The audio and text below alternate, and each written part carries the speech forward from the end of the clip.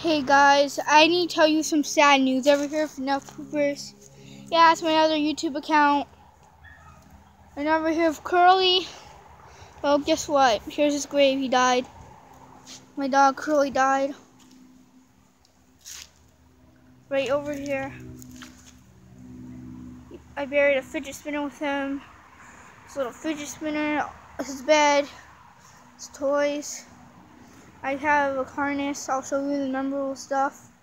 But until then, just look, just take a moment to remember him. Enough poopers. I'll be back with some memorable stuff. Here's all his memorable stuff, guys.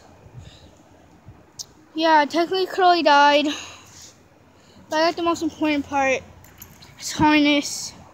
My mother got rid of the bowls, the puppy pads poor Curly. I mean, thanks for watching, guys, but I might cry in a second, but thanks for watching.